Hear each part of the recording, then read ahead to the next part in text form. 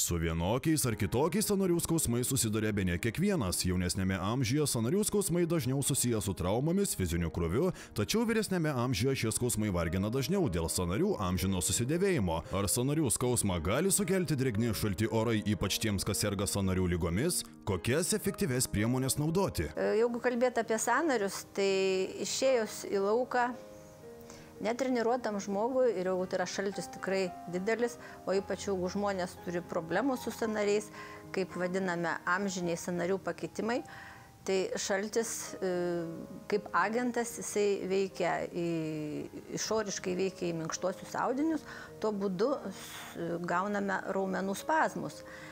Ir jeigu ypač, pavyzdžiui, ilgai sto, e, stovima e, autobusų stotelėje arba lietai einant šaltuoju laiku arba žvėjai, e, arba kurie mėgsta mėgautis e, gražia gamta.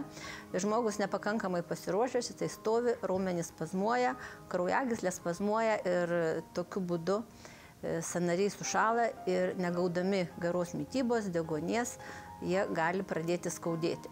O ypač tai liečia to žmonės, kurie turi problemų su sanariais. Skausmas išprovokuoja savisaugos instinktą. Norime saugoti sanarius atsisakydami judėjimo, tačiau toks nenoras judėti daro tik neigiamą įtaką.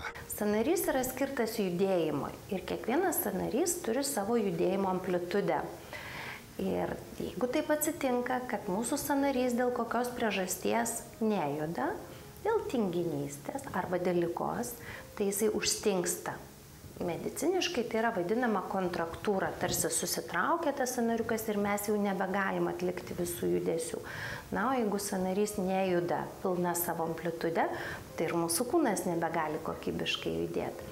Ir dar yra viena labai įdomi paslaptis, kad visi sanariai labai susiję vienas su kitu.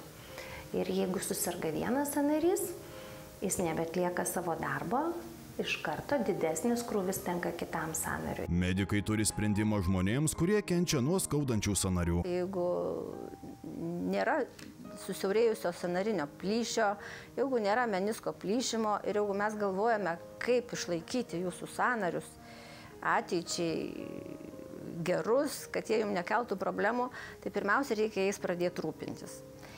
Tai vienas iš, iš tokių būdų galėtų būti nevaistinis preparatas, tai fleksiseko gelis, kuris padeda sutepti sanario kremzlės, pagerina sanario, e, sanarinio skyščio kokybę. Medicinos priemonė Flexisek labai pravers tiems, kas jau ilgai serga sanarių lygomis. Žmonės e, sergantis sanarių lygom, turintis artrozę, ar osteartritą ar kitų pavadinimų sanarių susirgymą arba tiesiog sanarių skausmą, dažnai būna naudojantis ilgus metus medikamentus, ar mėnesiais, ar netgi kartais metais naudoja medikamentus.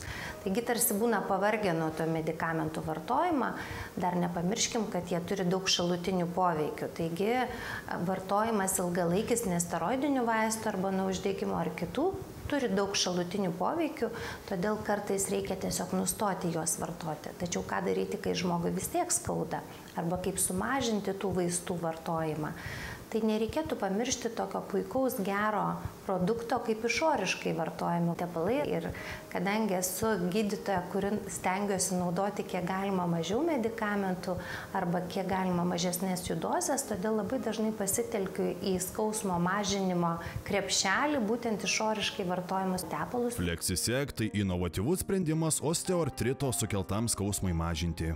Medicinos priemonė Flexisec gelis sutepa sanarių kremzlės, gali padėti esant skausmui ir sustingimui.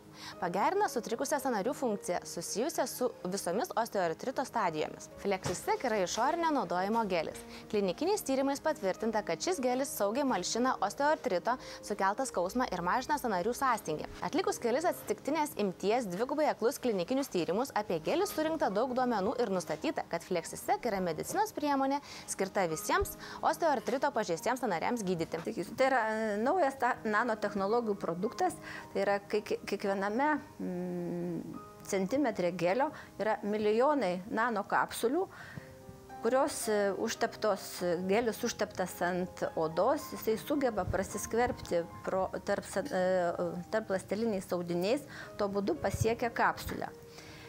Patekęs į sanario kapsulę, į sanarinį skystį, tos e, nano kapsulės, fosfolipidinės kapsulės, jos susproksta ir atsiranda vandens molekulės, kurios judesio metu, kai sanarį mes mankštiname, jos prisiklijuoja prie kremzlinio paviršiaus, tuo būdu pagerina sanario kremzlės funkciją, sumažėja traškėjimas ir skausmas. Flexisek sudėtyje yra mažyčių lipidų kapsulių, mikrokapsulių sekvisom, kurios prasiskverbia į odą. Tyrimas atliktas naudojant fluorescenciniais dažais pažymėtos mikrokapsulės sykusam parodė, kad užtepus Flexisek mikrokapsulės prasiskverbia į odą, patenka į sanario viduje esantį sinovinį skystį ir kaupiasi ant kremzlinių paviršių. Flexisek gelis su sekvisom technologija laimėjęs federalinės Vokietijos farmacininkų asociacijos inovacijų apdovanojimą veiksmingas ir saugus preparatas gali padėti sumažinti skausmą ir atstatyti sanarių lankstumą.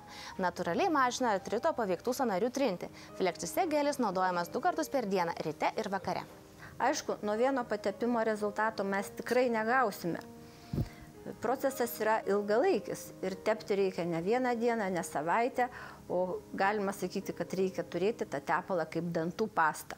Žmonės tikisi labai greito rezultato, tai dažniausiai susirgymai yra lėtiniai. Aš savo pacientų klausiu, na kiek jums laiko skauda sanarį? Ir man sako, man sanarį skauda, na pavyzdžiui, 3 mėnesius. Ir panaudoja dieną, dvi arba tris tepalą, jau nori to greito efekto. Tai tikrai tokių stebuklų nėra.